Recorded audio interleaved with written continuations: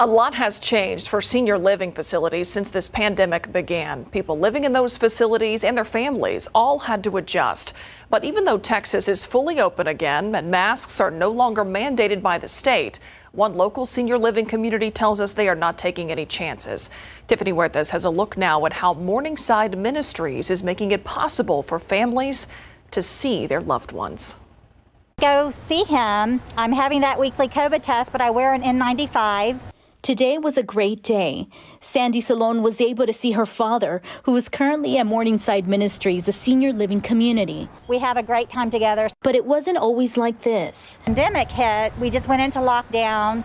And at that point, from one day to the next, I was not able to see him in person. Salone says in the summer, she was able to do outdoor visitations. They started the Essential Caregiver Program. I was actually able to go to his room and visit him in person. Essential caregivers are the only ones who can visit their loved ones inside the facility. Everyone else can schedule a masked visit outside or through a window. Um, it's very important for our residents to still make connections with their loved ones, but we do have to be responsible in how we make those connections.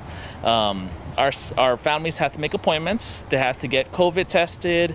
They have to make sure they're wearing a mask. Munoz says a year ago there was a lot of unknown that brought anxiety and stress. But today, there was a lot of um, anxiety, there was a lot of stress, there was a lot of unknown.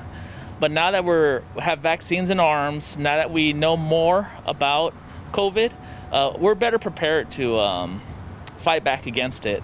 Tiffany Huertas, KSAT 12 News.